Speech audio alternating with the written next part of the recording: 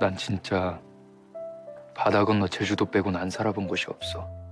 매번 돈 사고 치는 아버지 때문에 하도 이사를 많이 다녀서 동네에 정을 붙인다는 게 무슨 말인지 몰랐어. 근데 정이 들었어. 이 동네는. 그래도 여기 봄 되면 꽤 괜찮아. 꽃도 많이 피고, 음, 예뻐. 그럼 같이 보자.